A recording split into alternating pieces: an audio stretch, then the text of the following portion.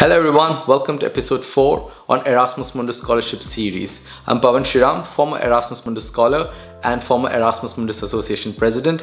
In this video, I'm going to talk about what to expect post an Erasmus Mundus application. So what happens next? Now that you've submitted all your documents correctly and more simply within the time. So now the group of experts from the consortium assemble or they may be doing this analysis virtually in their respective places and they come up with a ranking list.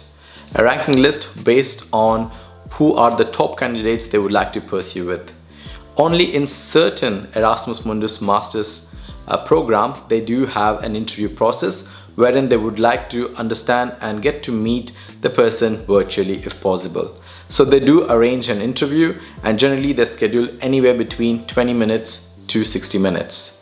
And this interview, it's very much to get to know about you and they give you a clear instruction what to expect, who will be in the panel and what kind of questions you might expect. So do not freak out. But majority of the cases, you will be in one of these four situations. Situation one, your application is accepted and you are in the main list and you will be getting the full scholarship. Second situation, application accepted, but you haven't got the full scholarship since you're in the waiting list. Number three, your application is accepted. You're neither in the main list nor in the waiting list, but you are allowed to pursue masters through your own tuition fee and you're a self-sponsored student. And number four, you get a rejection email saying that you do not necessarily meet all the criteria at this point of time and you may try next year. But do not lose hope but remember, you've done all the hard work, so you've learned a great deal on how to go about application. In my own personal experiences, I've seen people who didn't get it the first go, they haven't made it the next year.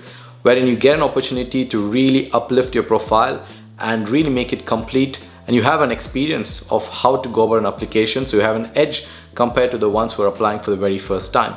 So it's a learning process irrespective of whatever the situation is going to be. But I really hope that you are in the situation one and you are all geared up for your dream. But do remember, so you submit your application sometime in end of December or in January and you should expect kind of a response from the consortium by February, March, latest by April.